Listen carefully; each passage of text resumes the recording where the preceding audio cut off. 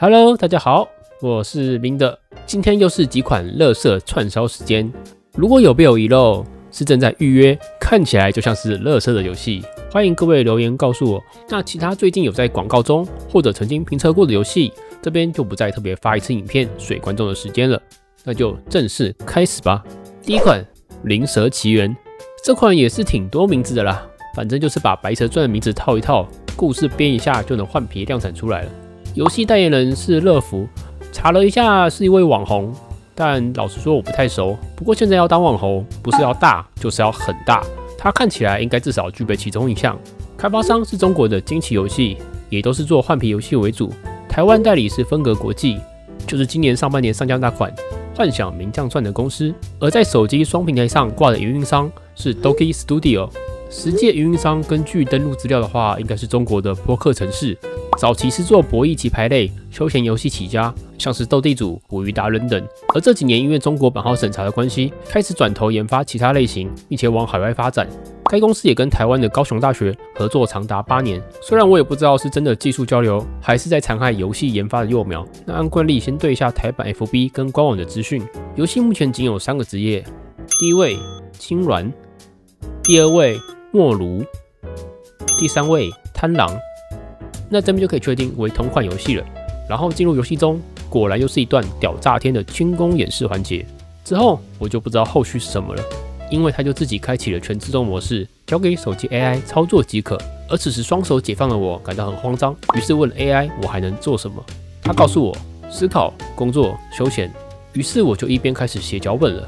感谢 Auto 挂机。让我能在有限时间获得双重的乐趣。然后闪耀大翅膀部分好像要第二天登录才能领到的样子，可惜我是看不到了，就交给喜欢的玩家去体验吧。下一款《星界幻想》，我已经不知道该怎么说了。这款游戏曾经在两年前出海到日本，基本上营收就算是个大爆死吧。从开服巅峰的七千万日元以后，就开始断崖式下滑，最低沉到六十一万日元，而目前月平均则是不到一千万日元，随时面临关服也是不用太意外。而既然讲到这款曾经上架到日本过，眼见的观众应该对这款也非常有印象。没错了，这款在台湾早就上架过了。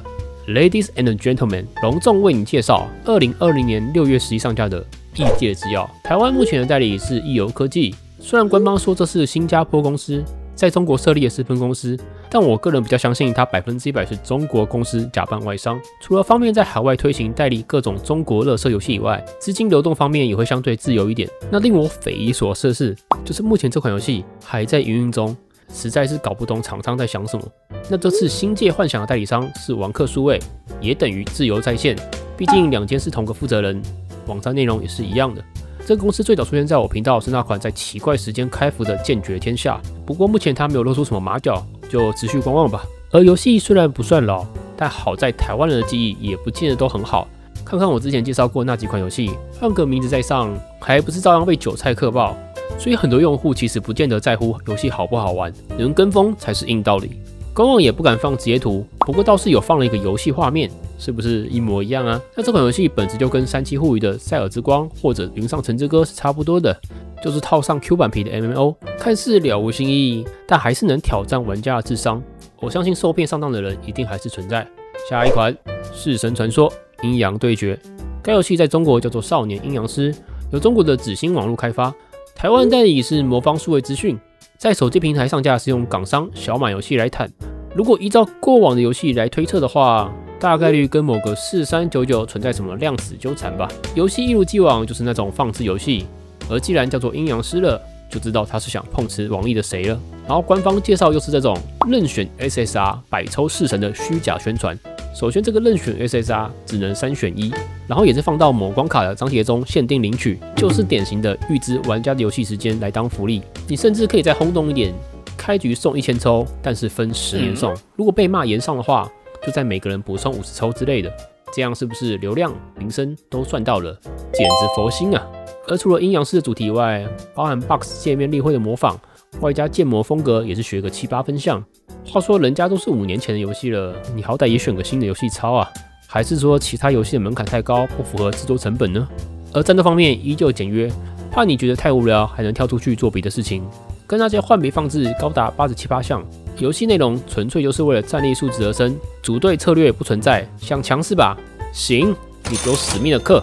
那一样，这类游戏都会投放大量的红点点，除了恶心强迫症玩家以外，看起来好像是在给你奖励，其实更多的是在诱导、强迫玩家把全部的选单都看一遍，搭配无所不在的氪金礼包公式，说不定有人就会管不住小手手，想说好像蛮便宜的，就这边氪一点，那边刷一点，不知不觉就越花越多了，于是厂商目的也就达成了。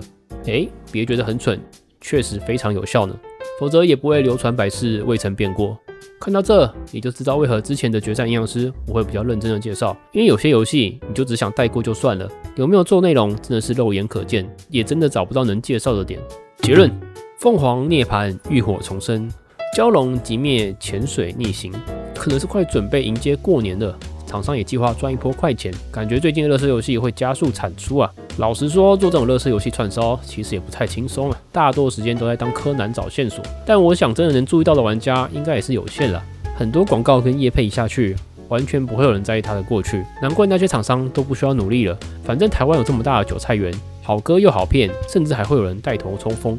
而现在一堆人还在讨论抖音、小红书等应不应该被禁，说人们应该享有资讯自由。又或者预设民众都具备辨识资讯的能力，但实际上不是每个人都会独立思考的。尤其对于低龄层的小朋友，从小就是各种中国式的影片轰炸洗脑，各种注意看跟短影片每天向他们大量输出。等他们长大以后，早就困在一间舒适美好的茧房中，难以逃脱了。今天的影片就到这边，我是冰的，我们下次见，拜拜。